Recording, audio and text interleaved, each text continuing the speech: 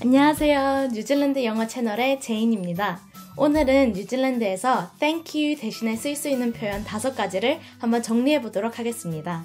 첫 번째 표현은 ta입니다. 뉴질랜드 아기들이 태어나서 언어를 처음 배우게 될 때 가장 먼저 배우게 되는 표현 중 하나인데요. thank you라는 표현이 너무 길고 아기들이 발음하기가 어려워서 그냥 ta로 이렇게 짧게 가르칩니다. 그렇다고 아기들만 쓰는 단어는 아니고 어른들도 쓰는데요. 보통 조금 가볍게 그냥 가벼운 감사의 인사를 할 때 타라고 할 수 있습니다. 저 같은 경우는 타 혼자 쓸 때도 많지만 다른 표현이랑 같이 쓸 때도 많은 것 같아요. 친구나 직장 동료가 제가 갖다 달라고 부탁한 물건을 가지고 왔을 때 타, thank you, you can just leave it there for me 이런 식으로 타, thank you 등 그러니까 감사의 표현 여러 개를 한꺼번에 사용하기도 해요. 그리고 한 가지 더 아까 아기들한테 많이 가르치는 표현이라 그랬잖아요. 근데 어, 감사합니다 말고도 약간 주세요의 표현으로도 같이 쓰여요. 아이가 손에 쥐고 있는 물건을 엄마한테 달라 그럴 때 한국말로는 두 손을 이렇게 내밀면서 엄마 주세요, 주세요 이렇게 하잖아요. 뉴질랜드에서는 어, 한 손을 내밀면서 타 for mommy, 타 이렇게 합니다.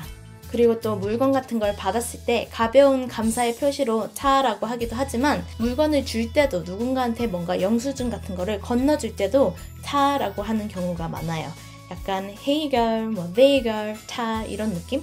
두 번째 표현은 키오라입니다. 뉴질랜드에 대해서 조금이라도 찾아보신 분이라면 아마 뉴질랜드에는 영어, 마오리어, 그 다음에 뉴질랜드식 수화 이렇게 공식 언어가 세 가지라는 거를 알고 계실 텐데요.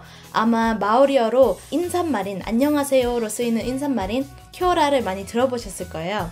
근데 이 키오라라는 말은 감사합니다 라는 뜻으로도 쓰여요. 그래서 안녕 할 때도 켜라 이러고요. 그 다음에 고마워, 뭐 감사합니다 이런 의미로도 켜라 이렇게 쓰입니다. 참고로 발음은 두 가지가 있어요. 키아오라라고 하는 사람이 있고요. 키오라 이렇게 하는 사람이 있는데 둘의 차이는 전혀 없고요. 그냥 그냥 기분에 따라 아니면 사람에 따라 두 가지를 같이 쓰거나 아니면 둘 중에 하나를 쓰기도 해요. 세 번째 표현은 shot입니다. 어, 청 맞았어 할 때 쓰는 그 같은 shot이라는 단어 맞고요. 음, 이 표현은 타보다도 훨씬 더 슬랭에 가까운 좀더 informal, 좀 더 casual한 그런 표현이기 때문에 격식 있는 자리, 뭐 비즈니스 이메일 같은 데서는 쓰시면 안 되고요. 장인 어른 뭐 이런 분한테는 쓰지 않으시는 걸 권장합니다. 약간 전형적인 키위 슬랭 표현이기 때문에 뭐 제 친구들 중에서는 뭐 chur cousin 약간 이렇게 쓰는 친구들도 있어요. 저 같은 경우 언제 가장 많이 쓰냐면요. 예를 들어서 수업 중에 그러니까 조별로 과제나 뭐 조별로 뭔가 discussion 같은 걸 하다가 그 그룹에서 한 명이 대표로 나가서 뭐 발표를 해야 된다. 뭔가 나를 대신해서 또는 우리를 대신해서 자기가 발표하겠다고 volunteer 한 친구한테 또는 마침 이렇게 방이 더운데 창문을 열어주거나 뭐 에어컨을 켜준 그런 친구한테 뭐 chur Emily, 뭐 chur Jordan 이렇게 이름을 넣어가지고 약간 대신 해줘서 고마워 이런 느낌으로 많이 쓰게 되는 것 같아요. 네 번째 표현은 cheers인데요. 아마 cheers는 많이 들어보셨을 것 같긴 해요. 앞서 소개한 표현보다도 훨씬 더 자주 쓰이는 굉장히 흔한 단어이기도 하고요. 엄청나게 격식을 차려야 되는 상황이 아니라면 모르는 사람하고도 그냥 충분히 쓸 수 있는 표현이고요. 뉴질랜드의 대표적인 중고거래 웹사이트 TradeMe나 아니면 요즘 점점 활성화돼 가고 있는 그 지역별, 동네별 페이스북 그룹 같은 데서 문의를 하거나 아니면 거래를 할 때 뭐 문자 같은 거 주고 받을 때 굉장히 많이 쓰여요. 예를 들어서 물건을 가지러 한 3시쯤에 들려도 괜찮을까요? 물어볼 때 Is it okay if I come pick it up around 3? Cheers, Jane. 이렇게 이메일 끝에나 아니면 문자 끝에 thanks 대신에 많이 쓰이고요.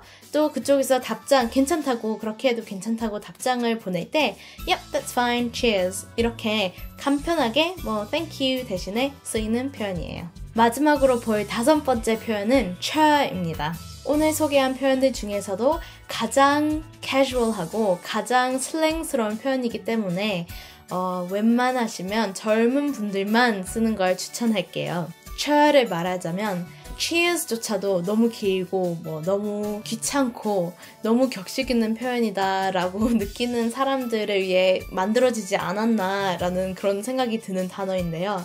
어, 어쨌든 뭐 cheers, thank you 이런 단어들 대신에 쓸 수 있는 표현이에요. 아무래도 보통 좀 젊은 남자애들이 많이 쓰는 표현이죠.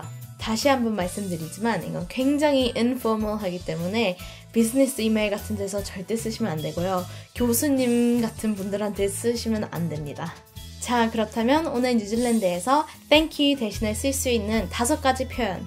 ta, kia ora, shot, cheers, chur 이렇게 알아봤는데요. 어떠셨나요? 뭔가 새로운 걸 배우고 가셨으면 좋겠네요. 앞으로는 뉴질랜드 영어 발음으로 하는 listening 영상 말고도 이렇게 제가 직접 가르쳐 드리는 영상도 좀 더 많이 찍을 예정인데요. 혹시 특별히 보고 싶으신 영상이 있거나 아니면 뉴질랜드, 뭐 뉴질랜드 영어에 대해서 궁금한 점이 있으시다면 꼭 댓글로 한번 남겨주세요. 영상 시청해주셔서 정말 정말 감사드리고요. 그럼 저는 다음에 뵙겠습니다. Thanks for watching. See you next time.